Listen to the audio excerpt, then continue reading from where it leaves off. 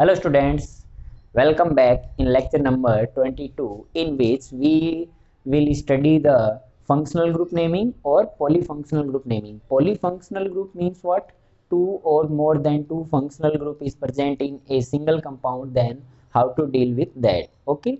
अपन ने कुछ functional group के बारे में तो स्टडी कर लिया था, जैसे कि आप लोगों को याद है कौन कौन से फंक्शनल ग्रुप के बारे में अपन ने स्टडी कर लिया था?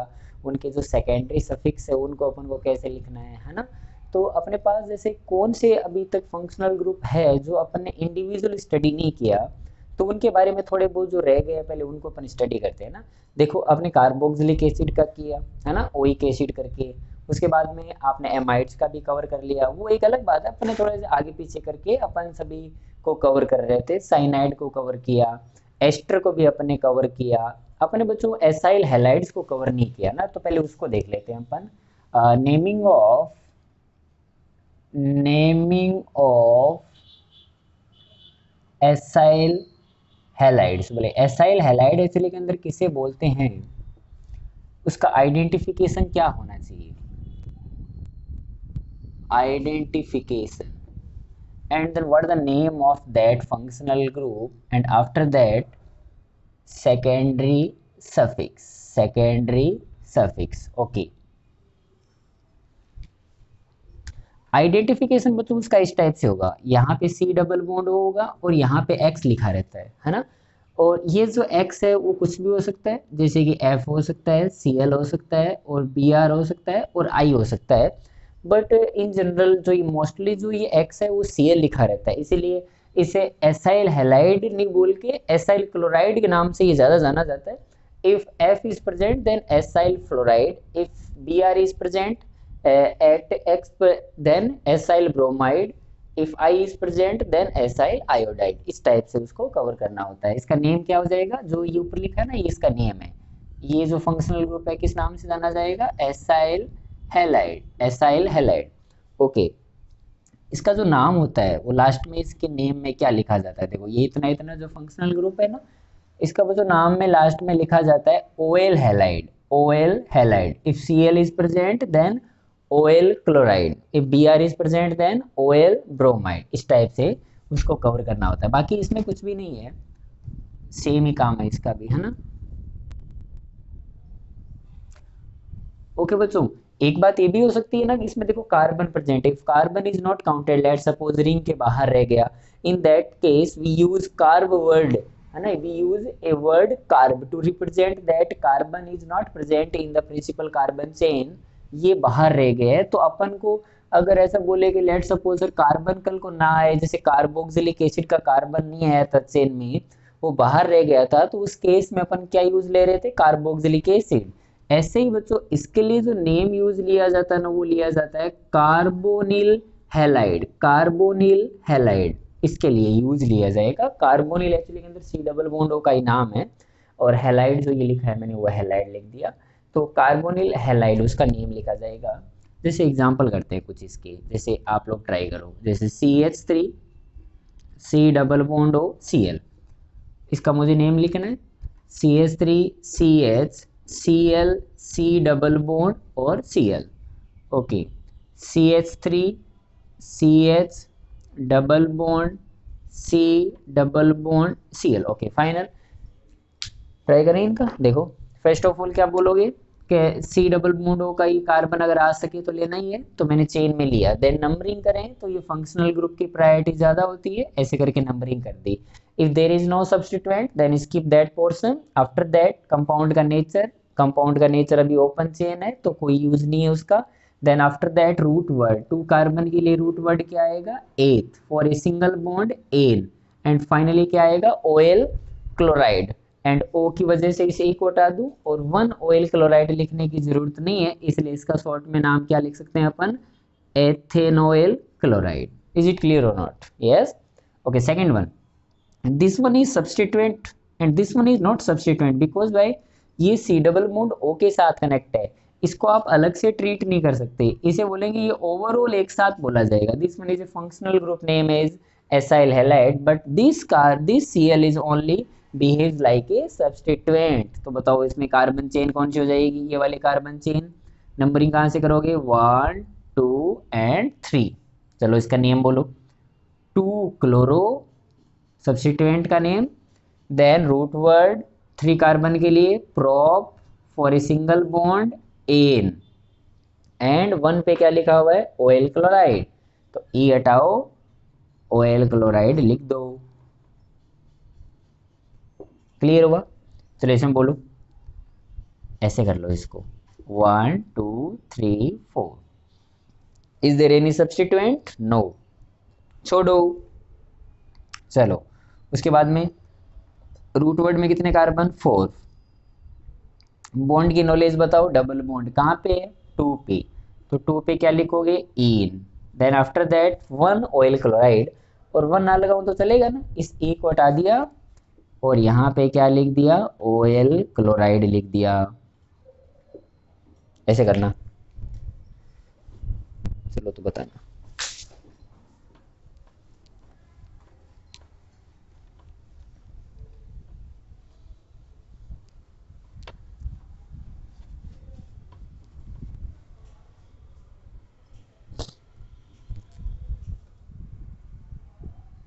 जैसे मान लो को रिंग होती। सी डबल बॉन्ड ओ इधर मान लो लेट्स बी आर लिख देता हूँ ना, और यहाँ कोई डबल बॉन्ड कर दिया। चलो इसका नेम बोलो। मान लो एक डबल बॉन्ड यहाँ होता, एक डबल बॉन्ड यहाँ होता C double bond O B R इधर होता, और एक बी आर तो इधर होता। सिक्स नंबर पे। मान लो C double bond O C L इधर होता, और एक सी डबल बॉन्ड हो सी एल इधर होता, और एक डबल बॉन्ड यहाँ होता, है ना? इनके नेम वो लिखते हैं अपन। क्या करता मैं फ़र्स्ट ऑफ़ ऑल ये मेरी प्रिंसिपल कार्बन चेन होती है। ना? नंबरिंग कहाँ से करता? तो सर इस बार ये कार्बन नहीं आया है, कोई बात नहीं तो इसकी प्रायोरिटी ज़्यादा हो जाएगी। One then after that unsaturation की प्रायोरिटी आती है। इट मीन्स उन्हें अपन मिनिमम टू मिनिमम नंबर देने की ट्राई करते हैं ना। तो one two three four five then six okay is there any substituent नहीं है। तो छोड़ो, उसके बाद में बताओ कंपाउंड का नेचर इसमें कंपाउंड का नेचर क्या हो जाएगा? Cyclo for six carbon we use hex then after that two पे क्या लिखा हुआ है? इन. तो टू इन. उसके बाद में बोलो वन पे क्या बोलोगे? वन पे क्या है? तो आप क्या बोलोगे? वन पे सर है carb carbonyl for C double bond O and halide which one halide is present B R तो बी आर के लिए क्या आ जाएगा? ब्रोमाइड तो ब्रोमाइड लिख दिया यहाँ पे। बोलो। This one is principal carbon chain then one इसको देंगे बिकॉज़ वाई यहाँ पे फंक्शनल ग्रुप लिखा हुआ है। अब मान लो इसको वन दे दिया तो अब बताओ टू किसको दोगे? क्या आपको, क्या वो बच्चों, याद है मैंने जो आपको एक बात बताई थी कि भाई डबल बॉन्ड और ट्रिपल बॉन्ड के किसी एक कार्बन को अगर आप नंबरिंग कर देते हो तो ये बिल्कुल हार्ड एंड फास्ट रूल है कि आप ऐसे बैक नहीं आ सकते। या फिर आपको जस्ट उस डबल बॉन्ड वाले ही कार्बन को नंबरिंग करनी पड़ेगी, है ना? तो देखो वन इसी को टू देना पड़ेगा, है ना? आप चाह के भी ऐसे नहीं कर सकते, इसको टू दे दो। This is not a rule four five six चलो फाइव पे क्या लिखा हुआ तो ब्रोमो फाइव पे bromo then after that, cyclo. Cyclo. Number of carbon 6 6 hex. Then, बताओ बॉन्ड का नॉलेज वन पे लिखा हुआ है और फाइव पे लिखा हुआ है। Then one comma five diene one comma five diene and after that one one carbonyl one carbonyl bromide one carbonyl bromide बताओ क्या इस सी की वजह से इस ई को हटाऊं? नहीं, क्यों? कि ए ई वाई ओ यू से अगर कोई स्टार्ट होता तो डेफिनेटली मैं उसको हटा देता। चलो इसमें बोलो। इसमें दो है, ये देखो। एक तो ये वाला कार्बन और एक ही वाला कार्बन इसका आपको ख्याल रखना है ना तो किधर से स्टार्ट करें? One two three four one two three four it means last में तो क्या आना है? One comma four dioyl chloride आना ही है। तो ट्राई करें अनसेचुरेशन पास में पड़े ऐसी नंबरिंग करें। तो वन टू तो सर वन टू तो अनसेचुरेशन भी सर आप इधर से करो, या फिर आप इधर से करो नंबरिंग दोनों को इससे मिलेगी। देन गो फॉर सब्सटीट्यूएंट है ना? Priority wise sequence wise first of all किसे देखोगे? Functional group then after that unsaturation then after that substituent तो बोले one two three one two one two three four two ethyl two ethyl compound का nature इस बार है नहीं। Then root word में कितने कार्बन फोर कार्बन तो but then bond double bond तो टू पे क्या लिखा हुआ है? Ene then one comma one comma four dioyl chloride dioyl chloride is it clear okay इस ओ की वजह से इस ई को हटाना चाहिए क्या मुझे? हटाना चाहिए। है ना? जैसे मान लो ये डाई है कई बार मैं इसको हैक्स लिख दिया, इसको आप अगर हैक्सा भी कर देते तो तो भी ठीक है, ना भी करते तो भी कोई प्रॉब्लम नहीं है। बेटर नेमिंग अगर कर दोगे तो अच्छा रहेगा, है ना? चलो, ऐसे समझ में आ जाएगा? ओके अब बताओ कौन सा फंक्शनल ग्रुप रह गया भाई, है ना? एक फंक्शनल ग्रुप और सुन लो, जो हालाँकि वैसे फंक्शनल ग्रुप अपन मानते हैं, लेकिन वो किसी ना किसी का डेरिवेटिव है एक्चुअली के अंदर। जैसे पहले मैं आपको लिखता हूँ यहाँ पे naming of naming of acid anhydride acid anhydride anhydride का मतलब बच्चों ये होता है कि एनहाइड्रस जैसे अपन बोलेंगे ना, बहुत बारी केमिस्ट्री में वर्ड आएगा एनहाइड्रस एनहाइड्रस का मतलब होता है उसमें हाइड्रेटेड नहीं है वो, उसमें पानी के मोलिकुल्स नहीं है, उसमें एच टू नहीं है गिला गिला नहीं है, उसमें बिल्कुल वो क्या है ड्राई है है ना? अब ये होता कैसा है? एनहाइड्रस कैसे बनाना होता है? डेफिनेट सी बात है, बच्चों एच के मोलिकुल निकल जाएँगे तो आफ्टर दैट जो भी बचेगा दैट मीन्स वो उसका एनहाइड्रस है। इज़ इट क्लियर और नॉट समझ मारी मेरी बात? जैसे आपको मैं बोलूँगा इसका एन हाइड्रेस बनाओ तो आपको मैं इनडायरेक्टली क्या बोलना चाहता हूँ कि एक एच का मोलिक्यूल रिमूव कर दो, है ना? तो पहले तो ये समझते हैं कि एसिड का एन हाइड्राइड मीन्स वॉट तो एसिड एन हाइड्राइड का मतलब ये होता है कि जैसे कोई मान लो मोलिक्यूल है है ना? कोई मान लो लेट सपोज़ कोई मोलिक्यूल है। मुझे इसका एन हाइड्रस तैयार करना है। तो for to get an hydrated molecule तो उसमें एच टू जैसा कुछ होना तो चाहिए। कोई ओ OH वगैरह होना चाहिए तो ऐसा कुछ भी उसमें होना चाहिए ना? अगर मान लो इस मोलिक्यूल में दो ओ OH है अपने पास तो अपन इनडायरेक्टली क्या करेंगे? ऐसे उसे जब हीट करोगे ना आप तो वो एच टू के मोलिक्यूल निकलने स्टार्ट हो जाएँगे। और यहाँ पे अपन को क्या मिलेगा? अपन को मिलेगा एन हाइड्राइड किसका एन हाइड्राइड होगा? ऑफ़ दैट मोलिक्यूल इस मोलिक्यूल का एन हाइड्राइड आपको मिलेगा, है ना? कई बार क्या होगा बच्चों, एक मोलिक्यूल है तो एक मोलिक्यूल में मान लो लेट सपोज़ एक ही ओ OH ग्रुप लिखा हुआ है ना तो OH ग्रुप लिखा हुआ है तो मैं एच टू रिमूव कैसे करूँ? मीन्स कैसे? कभी मुझे चाहिए रिमूव करने के लिए दो हाइड्रोजन एक ऑक्सीजन एच टू का मोलिक्यूल अगर स्मॉल मोलिक्यूल आप रिमूव करना चाहते हो तो फिर उस केस में क्या करें? तो ऐसा करेंगे, अपन दो मोलिक्यूल ऐसे पास पास में लेके आएँगे, उन दोनों में कॉमनली एक एच टू का मोलिक्यूल हटा देंगे तो भी चलेगा नो प्रॉब्लम है ना? जैसे देखो ना, मान लो बच्चों, मैंने आपको बोला कि एक मेरे पास H two S O four है। ये H two S O four में क्या आपको मैं बोलूँ, एक एच टू का मोलिक्यूल रिमूव करना है आपको क्लियर है ना? एक H2 का मोलिक्यूल रिमूव करना है। तो क्या आपको इसमें दो हाइड्रोजन एक ऑक्सीजन जैसा रिमूव करने के लिए आप प्रिपेयर हो? हाँ बोलेंगे सर इसमें है ना? देखो, दो हाइड्रोजन है सर एक ऑक्सीजन है रिमूव हो सकते हैं ओके तो मान लो रिमूव कर दिया। तो आफ्टर दैट क्या बचेगा? तो एस ओ थ्री बचेगा, है ना? तो ये SO3 का क्या है? ये आप इसके किस नाम से जानोगे इसको? SO3 इज़ व्हाट तो SO3 इज़ एन हाइड्राइड किसका एन हाइड्राइड ऑफ़ H2SO4 है ना? SO3 is what anhydride of H2SO4 ऐसे बोलना होता है है ना? जैसे मान लो H2SO4 is sulphuric acid HNO3 is nitric acid जैसे कि मान लो HNO3 एक नाइट्रिक एसिड स्ट्रॉन्ग एसिड है। मैंने बोला इसका एनहाइड्रस तैयार करके दिखाओ मुझे एनहाइड्रस तो आपका कहने का मतलब क्या होगा? कि सर एक H2 का मोलिक्यूल हटाना है ना। तो आपने क्या नोटिस किया बच्चों? आपने ये नोटिस किया कि सर H2 का मोलिक्यूल कैसे हटाएँ? इसमें तो दो H है ही नहीं। इसमें तो एक ही है। तो उस केस में क्या करो? ऐसा सोचो कि दो ओ थ्री के मोलिक्यूल्स में एक कॉमन एच टू हटा दिया होगा। तो ठीक है। मैंने बोला कि दो मोलिक्यूल ले लो। तो दो मोलिक्यूल में एक एच टू का मोलिक्यूल हटाना आपको क्लियर है? तो क्या क्या बचेगा यहाँ पे? दोनों हाइड्रोजन चले गए। नाइट्रोजन कितने हो गए बच्चों? दो नाइट्रोजन हो गए। नाइट्रोजन को तो हटाना ही नहीं है। ऑक्सीजन कितने हैं? सिक्स है टोटल मिला के ना? टू थ्री जा सिक्स एक हटा दिया तो फाइव रह गए ना? तो बोलेंगे फाइव रह गए। N2O5 N2O5 is known as anhydride of HNO3 HNO3 का वो क्या कहलाएगा? एनहाइड्राइड कहलाएगा।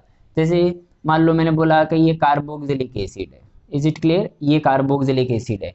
इस कार्बोक्सिलिक एसिड का सर एन हाइड्राइड जनरेट करो। तो बोले एन हाइड्राइड जनरेट कैसे करें? तो सिर्फ़ में तो ओ OH ही है। एक एच और लेके आओ। इन दैट केस अपन बोलेंगे, एक काम करो ना तो दो मोलिक्यूल लिख लो ना पास पास तो दो मोलिक्यूल मैंने पास पास लिखे। बाद में मैंने कॉमनली एक H2 का मोलिक्यूल हटा दिया। इसको जब हीट किया तो एक H2 का मोलिक्यूल चला गया। आफ्टर दैट ये क्या बच गया? तो C डबल बूंड हो, C डबल बूंड हो और R बच गया। Is it clear and this is what and this is known as anhydride किसका एनहाइड्राइड कहलाएगा ये? Anhydride of this one carboxylic acid carboxylic acid का एनहाइड्राइड अभी अपन किस टाइप के एनहाइड्राइड की स्टडी करेंगे? दिस वन ऑर्गेनिक केमिस्ट्री पढ़ रहे हैं। इनके बारे में अभी अपन को नहीं पता होगी तो भी चलेगा। क्लियर है बात? इसका मतलब एनहाइड्राइड को अलग से फंक्शनल ग्रुप नहीं है। It is the derivative of carboxylic acid when it is heated, one H2 molecule is removed then after that we get anhydride of that carboxylic acid. Okay अब अपन को इन्हीं के नाम लिखना सीखना है। तो बोलेंगे, सर, इसके नाम तो अलग से नहीं आने वाले। क्यों नहीं आने वाले? उनके पेरेंट कौन है? उनके पेरेंट कार्बोक्सिलिक एसिड तो डेफिनेटली नेमिंग कन्वेंसिंग भी उन्हीं की तरीके से ही होगी। क्लियर है? Okay okay.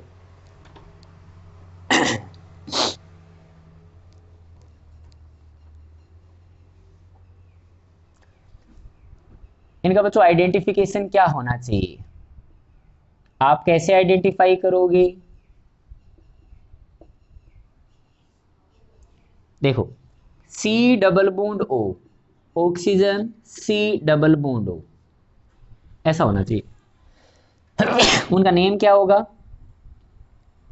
नेम क्या है इसका? एनहाइड्राइड किसका? एसिड का।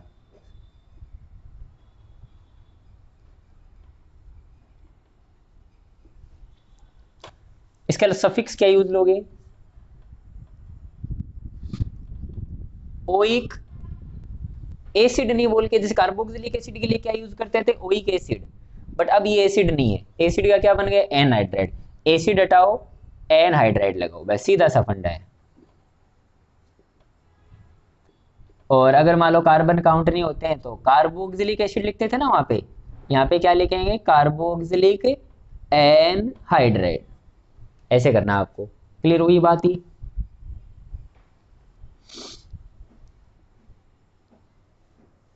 जैसे देखो। बहुत ही सिंपल सा बच्चों कुछ नहीं है इसमें। H C double bond O double bond O ऐसा। मान लो इसका नेम लिखना है। तो आपको शॉर्टकट क्या करना है? आप ये पता कर लो ना कि ये एनहाइड्राइड जो है ना, ये किस एसिड से मिलके बना होगा? मतलब कौन सी ऐसी एसिड थी जिनको गर्म करने पर ये मिला होगा? तो उन एसिड का नाम लिख लो। वो जो एसिड्स के नेम लिखोगे ना, उसके लास्ट में जो एसिड वर्ड है ना, उसकी जगह आप एनहाइड्राइड लिख दो, बस वो नेम हो जाएगा। जैसे आपने को पता है कि ये H2 का मोलिक्यूल हटाने के बाद में ये बना होगा। तो ऐसा सोचो, इसको वापस दे दो H2 का मोलिक्यूल कैसे दोगे? ये ऑक्सीजन नहीं है क्या? इसकी तरफ़ एच रखना। बाकी दूसरे वाले की तरफ़ ओ OH रखना। है ना? वो चाहे आप इधर जोड़ दो, चाहे आप इधर कनेक्ट कर दो, बात तो एक ही है है ना? तो आपने इसे ब्रेक किया, मान लो। तो आपको पता चला कि H C double bond O O H इसके साथ तो क्या जोड़ दिया मैंने? ओ एच जोड़ दिया। एच टू का मोलिक्यूल ऐसा ही होता है ना? और इसके साथ मैंने क्या जोड़ दिया? एच तो ये भी ऐसा ही बन गया। कहने का मतलब मैंने क्या किया? दो ओ एच दो ओ एच वाले अलग कर लिए और एसिड का नेम लिख लिया। If acid is same both acids are same then only write one times क्या नेम है बच्चों इसका? मेथेनोइक एसिड था ना? मिथेनोइक एसिड था। लेकिन आपने तो इनके नेम लिख दिए एचडी के अंदर अपन को नेम किसका लिखना चाहिए था? इसका। तो बोलेंगे, क्या चेंज करना होगा? अब ये बच्चों एसिड नहीं है। This one is known as anhydride तो बोलेंगे ओइक एनहाइड्राइड तो यहाँ पे क्या कर देंगे? एनहाइड्राइड जैसा वर्ड यूज़ में ले लेंगे। तो इसका नेम क्या हो जाएगा? मिथेनोइक एनहाइड्राइड इसका नेम हो जाएगा। क्लियर हुई ये बात?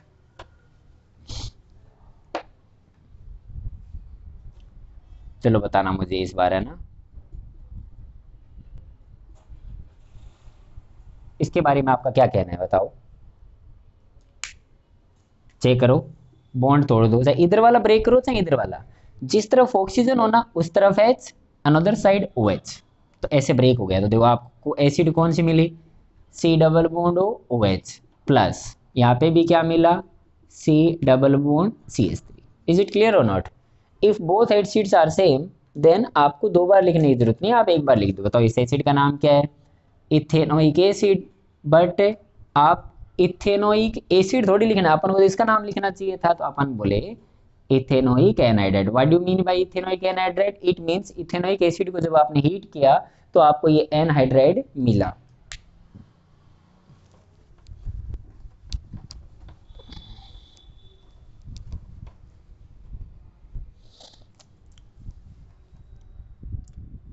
जैसे H C double bond O C double bond O C S three मान ऐसा होता तो तो ऐसा होता तो नो प्रॉब्लम बॉन्ड तोड़ो एच और ओ एच जोड़ो।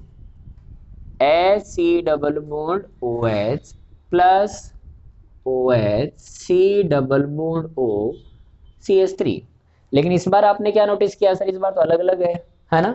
एक कार्बन की कार्बोक्सिलिक एसिड है और यहाँ पे दो कार्बन की कार्बोक्सिलिक एसिड है। तो व्हाट इज़ द नेम इस बार तो मैं ऐसा नहीं बोल सकता कि आप एक बार लिख दो या फिर ऐसा भी नहीं बोल सकता, दोनों में से किसी एक को लिख दो।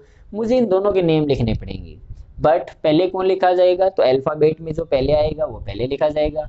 This one is methanoic this one is ethanoic E comes first from M then ethanoic ethanoic और इसका नाम क्या हो जाएगा? मिथेनोइक।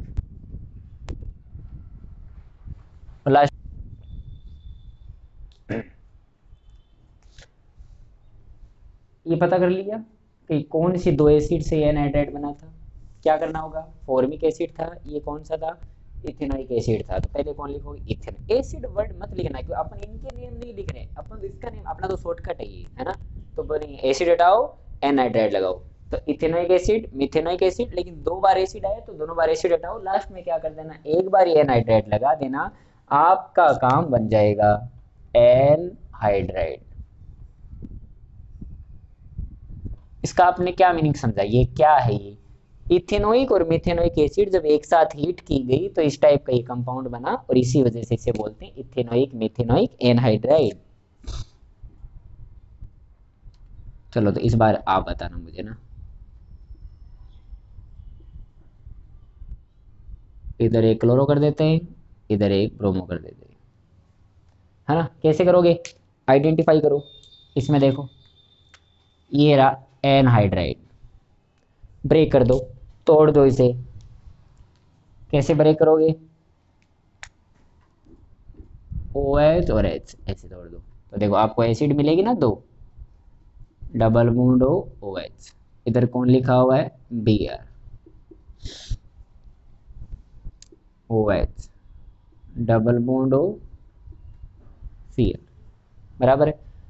अब इन दोनों के इंडिविजुअल आप नेम लिख लो। बस एसिड हटा देना और लास्ट में एनहाइड्राइड लिख देना, वो उसका नेम माना जाएगा ना। शॉर्टकट हो गया ना? बहुत इजी बोलो। Select the principal carbon chain one two three select the principal carbon chain one two three इसका नेम लिखना हो तो क्या लिखोगे?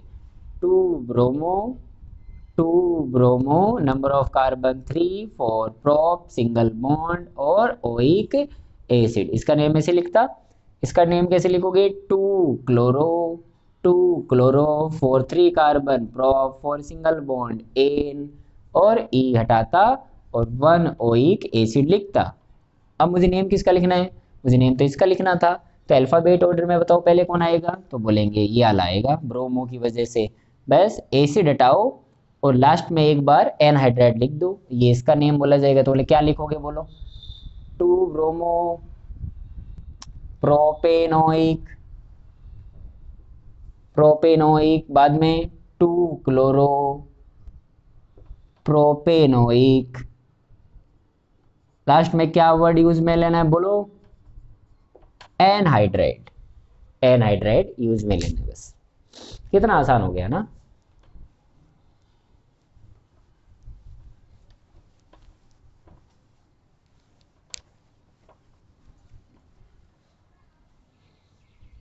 और करते हैं, देखो। तो कई बार बच्चों, इस टाइप के भी एग्ज़ाम्पल अपन को देखने को मिलते हैं। उनको देख के बच्चे नॉर्मली कंफ्यूज रहते हैं कि ये कैसा कंपाउंड है। जैसे कि मान लो, ये ऑक्सीजन है इधर double bond O double bond O इधर ए सी एल इधर बी आर एक और करते हैं।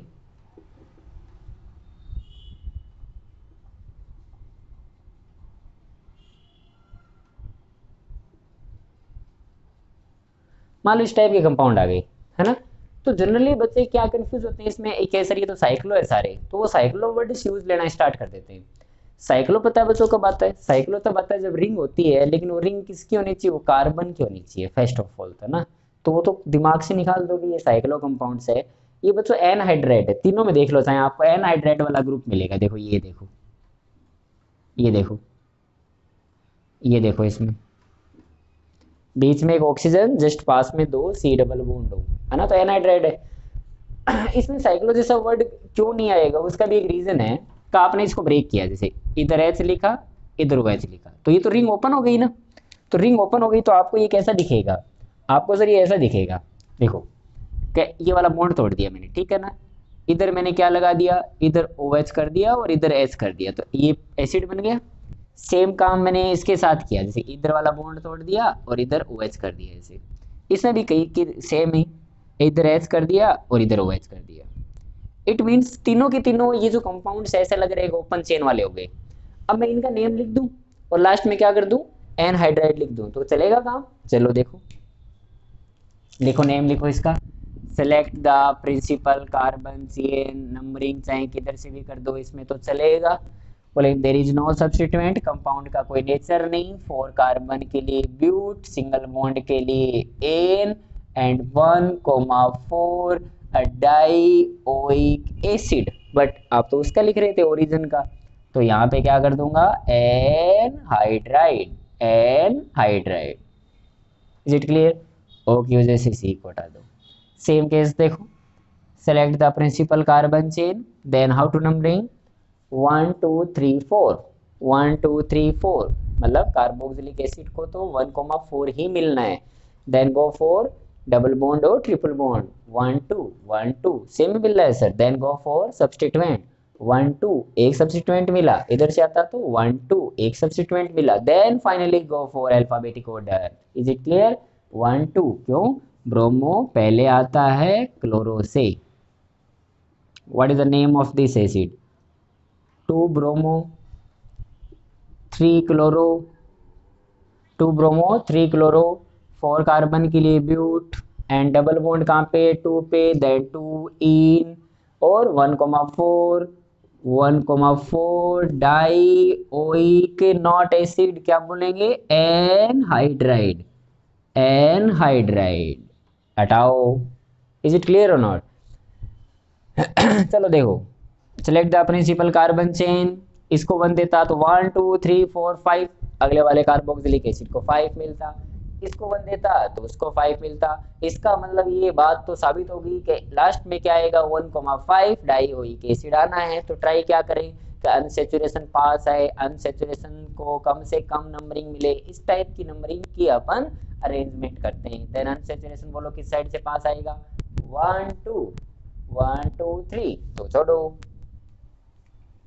नंबरिंग की मैंने? One, two, three, four, five. चलो नेम लिखो।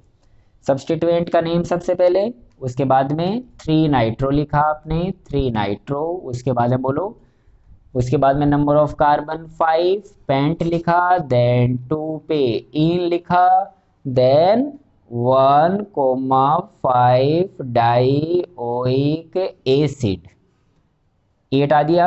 अब बोले, सर, वो तो आपने इसका लिख दिया, मुझे तो उसका लिखना चाहिए था। तो बोलेंगे छोड़ो छोड़ो छोड़ो छोड़ो। यहाँ पे क्या लिख दो? Anhydride acid anhydride की बातें क्लियर होगी ना? Okay okay,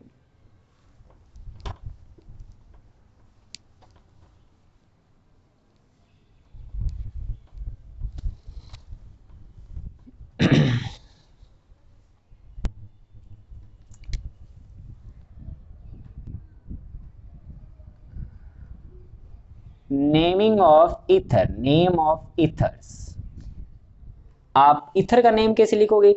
ये भी बच्चों एक टाइप के एनहाइड्राइड ही होते हैं। इथर भी, जैसे इथर ऐसे बनते हैं कि ये एल्कोहल नहीं है क्या? अभी आप एल्कोहलों को जब हीट करते हो ना, आप कार्बोक्सिलिक एसिड को हीट करते हो तो एसिड का एनहाइड्राइड मिल जाता है। और जब आप एल्कोहल को हीट करते हैं ना अपन तो आपको इथर जनरेट होता है। क्लियर है ये बात? आर डैश और आर क्या है यहाँ पे? कार्बन है। बहुत सारे अलग अलग टाइप के कार्बन है। This is known as ether इसका नाम होता है बच्चों ईथर इसी को ईथर के नाम से जाना जाता है। इसीलिए ईथर को मानते तो है अपन फंक्शनल ग्रुप डेफिनेटली बट इसको कोई अलग से ट्रीटमेंट नहीं देते अपन। कभी इसका कोई सेकेंडरी सफिक्स होता है, ऐसा कुछ नहीं होता। ऑक्सीजन इधर तरफ़ भी कार्बन इधर भी कार्बन इसका मतलब आप सिलेक्ट करो कार्बन की चेन और इसको अपन एज ए सब्सटीट्यूएंट ही ट्रीट कर लेते हैं, क्योंकि ये एल्कोक्सी जैसा ग्रुप है। बार आपने देखा था ना? ओ सी एस थ्री का नाम होता है मिथोक्सी है ना? तो इस टाइप से इनके नाम अपन ऐसे लिख डालते हैं डायरेक्ट ठीक है एल्कोक्सी एल्कोक्सी एल्केन अगर वो एल्केन है तो। और अगर मान लो डबल बूंड हुआ तो एल्कोक्सी एल्कीन इस टाइप से ना? तो देखो काफ़ी सिंपल है ये, कुछ नहीं करना इसमें। कैसे आइडेंटिफाई करोगे इथर को? ऑक्सीजन के दोनों तरफ़ कार्बन होना चाहिए। तो इसका कोई आइडेंटिफिकेशन बड़ा तो है नहीं, बस सिंपल सा दिखना चाहिए आपको। क्या? ऑक्सीजन के दोनों तरफ़ कार्बन जैसे देखो।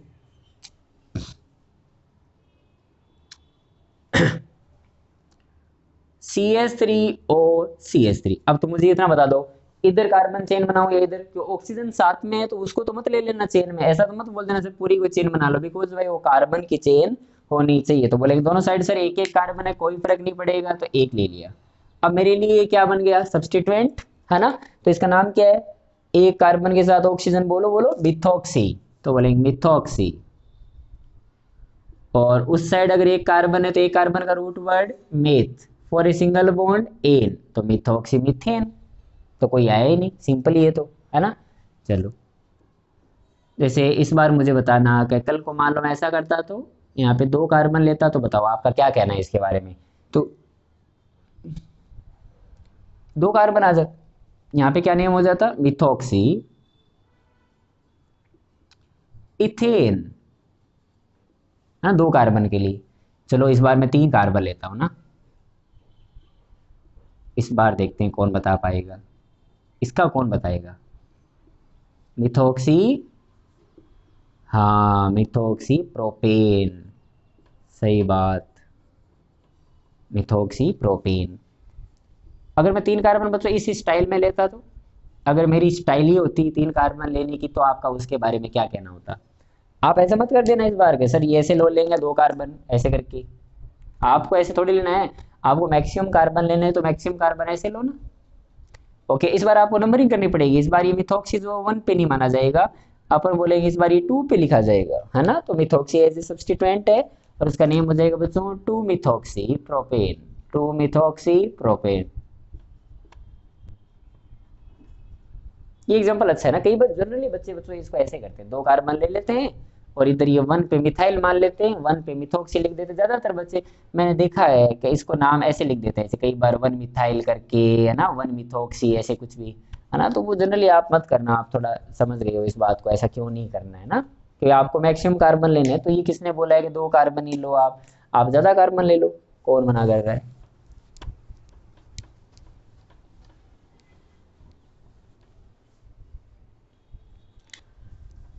चलो।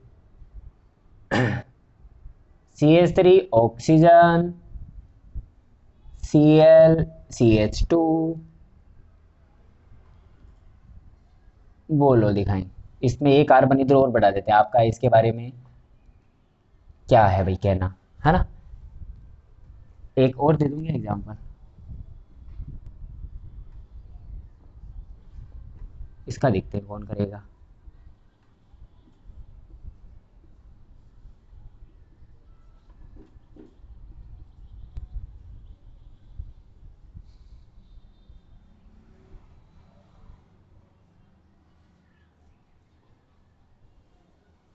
चलो बोलो।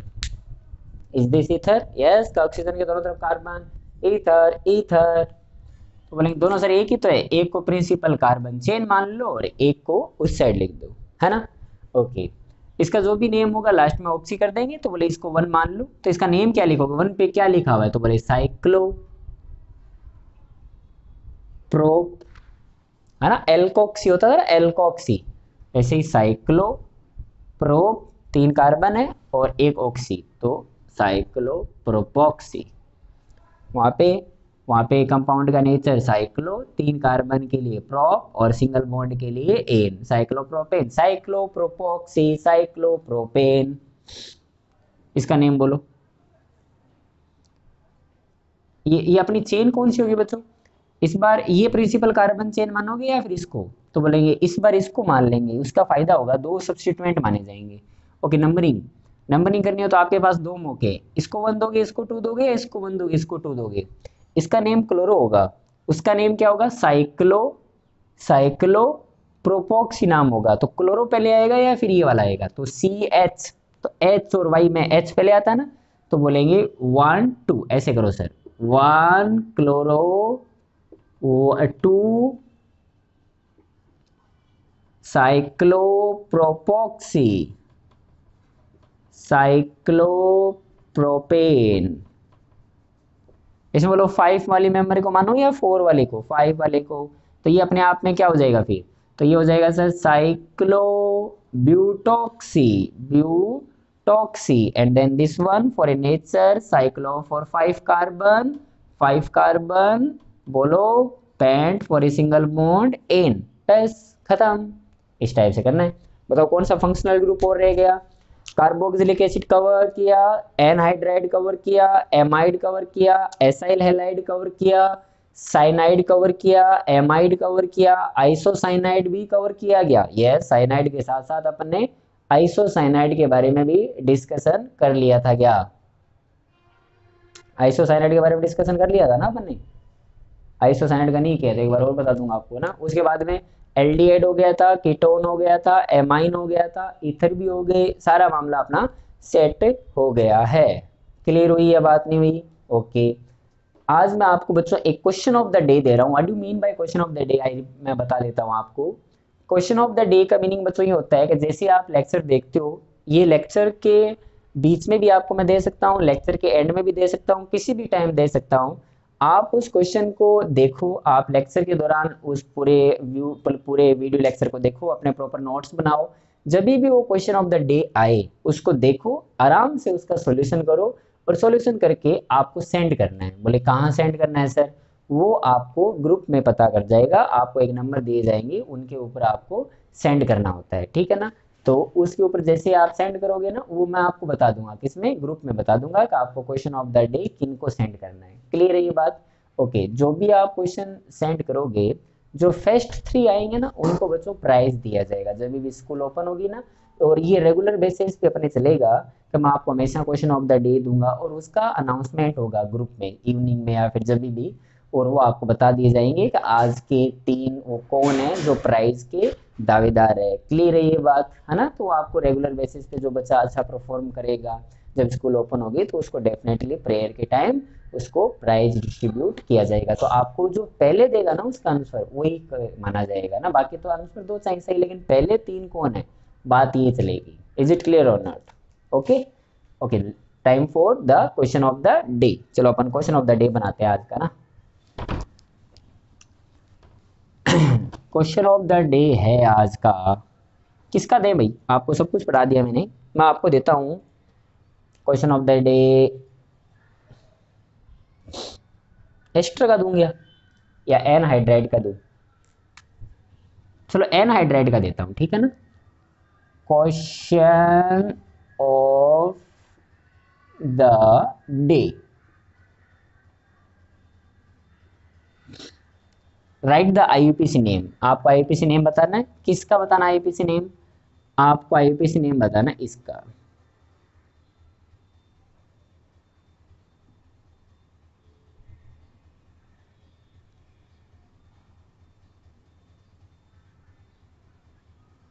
क्वेश्चन ऑफ़ द डे थोड़ा अच्छा देना पड़ेगा मुझे, नहीं तो देखो सभी कर देंगे फिर तो ना?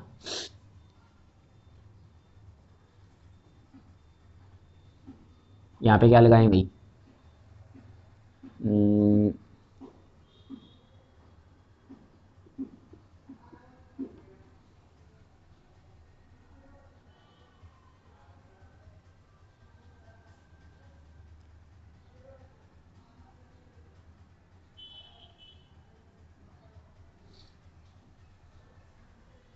लिमिटेड बच्चे कर पाएँगे। मतलब कंपटीशन का माहौल बन जाना चाहिए आप में हाँ पहले कौन करे, बाद में कौन करे। फंडा समझ में आ गया ना? करना कैसे? करना कैसे बोलो? एनहाइड्रेट है बॉन्ड को ब्रेक करो एच करो ओ OH लगाओ। इनडायरेक्टली ओपन हो जाएगा तो उस कार्बोक्सिलिक एसिड का नाम लिखना है। एसिड हटाओ एनहाइड्रेट लगाओ, ये फंडा होना चाहिए इज़ ए कॉम्प्लेक्स सब्सटीट्यूएंट ये साइक्लोप्रोपाइल टाइप हो गया, ये इथोक्सी टाइप हो गया, ये डबल बॉन्ड है ट्राई करो फास्ट ओके बच्चों thank you all of you मिलते हैं जल्दी कल। बाय